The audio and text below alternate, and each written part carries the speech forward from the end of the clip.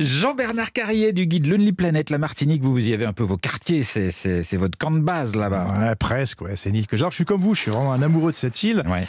Et puis, en fait, la, Mar- la Martinique, la première fois que j'y suis allé, j'y suis allé pour le Grand Bleu, figurez-vous. C'est en Grèce que ça a été tourné le. Grand Alors Bleu. oui, mais moi je suis allé pour le Grand Bleu de la mer des Caraïbes. Ouais.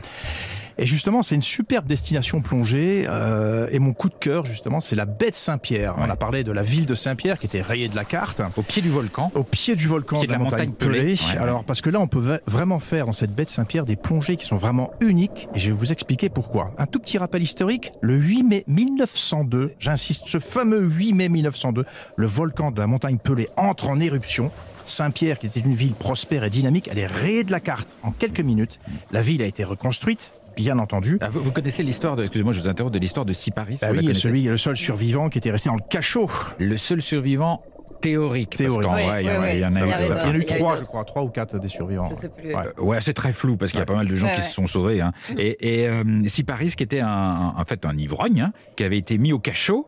Et il Mm. a été enfermé et il a été protégé de l'éruption par l'épaisseur des murs Des du murs, cachot. ouais, ouais. Et les, les sauveteurs sont venus le. On l'a entendu quelques jours après. Après, ouais. Et, et il était là. En Mais il de- était brûlé aussi. Hein. a été brûlé. Il a été brûlé parce que la- les températures sont montées quand même à des degrés euh, extravagants. Ah, Très Ouais, complètement. élevé. C'était des nuées ardentes. Ouais, C'est-à-dire, c'est ouais. des, des torrents de cendres chaudes et Voilà. brûlantes et qui sont projetés dans la baie jusqu'à 1500 mètres dans la baie. Mm. D'où l'explication que je vais vous donner. Les bateaux qui étaient dans la baie de Saint-Pierre, ils ont brûlé instantanément. Alors, pas forcément instantanément pour certains, mais ils ont tous pris feu. Ils ont coulé.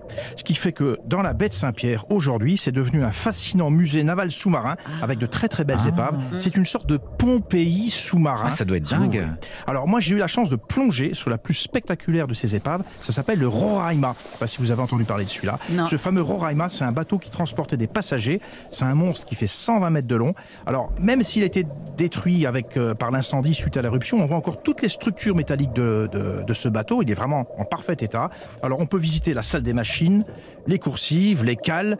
Je peux vraiment vous assurer que la vision de ce monstre englouti qui apparaît dans le halo bleuté c'est franchement quelque chose d'indélébile. Alors, il y a un seul inconvénient quand même pour cette plongée. Elle est réservée aux plongeurs confirmés parce qu'ils reposent à moins 50 mètres Ah ouais. de fond dans la baie. Ah bah moins 50, faut y aller quand même. Euh. Il faut être d'un très bon niveau, niveau 2, 3 minimum en plongée. Donc c'est vrai que c'est le seul inconvénient. Mais c'est magique de voir ça sous l'eau, à 50 mètres. C'est, on plonge dans l'histoire en fait. Mm. Jocelyne, vous, avez, fait. vous vous plongez Vous avez plongé là? Euh, moi, je plonge en apnée et pas si loin. C'est ce qu'on appelle le snorkeling. Vous avez des cours Ah de non, en snorkeling à nous apnée, en conseiller plus. Non, de j'ai pas pris. ouais. Non, j'ai pas pris parce que je fais de la natation moi, donc euh, je, je- je faisais beaucoup de, de longueur sans, sans respirer et tout, Ouais. donc euh, je plonge en apnée, mais pas très loin, Pas pas, très profondément. Côté, Voilà. côté festivité, Jean-Bernard, il y, a- il y a des choses que, que vous appréciez là-bas? Ah bah, J'ai eu la chance euh, d'assister au plus grand événement, de ce que je considère le plus grand événement dans la culture créole, bah, le fameux carnaval, Jocelyne. Ah, bien Carnaval sûr. à Fort-de-France. Euh, Je suis arrivé là, je venais de l'hiver, euh, l'hiver parisien ou, ou lorrain, je sais plus où j'étais euh, avant de partir. Je suis arrivé euh, là à Fort-de-France et c'était absolument magique. J'étais fasciné par l'ambiance et surtout l'implication de toute la population. C'est ça. C'est c'est en février, effectivement. Alors il y a une ferveur incroyable, une atmosphère de liesse qui est absolument communicative. Je me suis laissé emporter par ce torrent de, de fêtes, de couleurs, de sons et d'ambiance. il est emporté Par le courant. par N'en dirons pas on ne plus. peut pas le retenir. Alors je vais quand même expliquer comment ça se passe ce carnaval. Alors pendant les quatre jours qui précèdent le mercredi des cendres, c'est toute l'île qui vit au rythme endiablé de cette grande fête, de grande fête populaire. Alors il y a des défilés costumés qu'on appelle les vidés, Voilà. très spectaculaires. Il y a des musiciens, des danseurs et aussi ce que j'ai adoré, des vieilles voitures customisées et surchargées qu'on fait vrombir. Ces énormes voitures. Ah Ça s'appelle les Bradiacs. Voilà, les Bradjak, voilà, j'arrivais Voilà. pas à le prononcer, mais grâce à vous, c'est fait.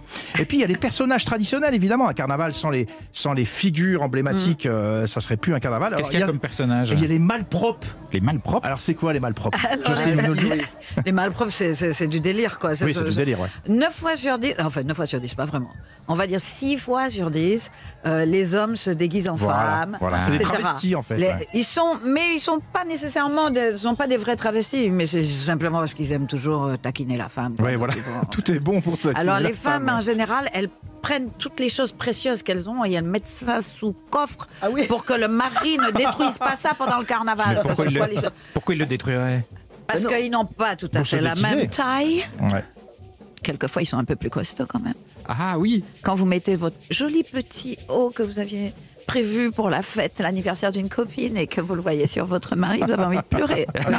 Ah, ils cachent leurs vêtements, c'est ça Bah oui, ils mettent pas vêtements du de leurs déguisement. épouses. Ils mettent leurs vêtements des épouses et c'est ça, celui qui sera le plus, euh, Ouais, Le plus mal Extravagant. propre. oh, le plus mal propre, le plus n'importe comment. Alors, il y a aussi les c'est- diables rouges, euh, Jocelyne. Les diables rouges, Ça, c'est très important, C'est très important. C'est très Alors ça c'est le intimidant mardi. presque. hein. En fait, mardi. en fait, le truc c'est que le dimanche c'est tout le monde, c'est c'est un peu libre, c'est c'est free. Le lundi ce sont les mariages burlesques essentiellement. C'est quoi, les mariages burlesques Alors c'est- bon, alors souvent la femme c'est l'homme, l'homme c'est la femme, etc. Ils ont ils vont venir avec le cabri et compagnie. Ils, ils miment un, mariage. Ouais. Donc il y a des mariages avec toutes les extravagances qui peuvent euh, qu'on peut qu'on peut avoir pour ça. Donc c'est Est-ce que du coup les mœurs peuvent se relâcher un peu à ce moment-là? Ah, mais de toute façon, les mœurs se relâchent quand les gens ont envie de relâcher leurs mœurs. Je Ils n'ont pas besoin du carnaval pour relâcher les mœurs. Vous savez, c'est pas la- c'est- Et Je bien crois sûr, pas que. Alors aussi- évidemment, ça- Et, et aussi, aussi le roi Vaval, le fameux Le- mannequin géant le mannequin qui- que l'on brûle, qu'on Voilà. incinère le dernier jour. C'est très mercredi. impressionnant euh, comme Voilà. spectacle, ça également. hein. Ouais. Donc, donc, je continue. Le mardi, c'est le jour, le, le- le jour des diables. Donc c'est rouge.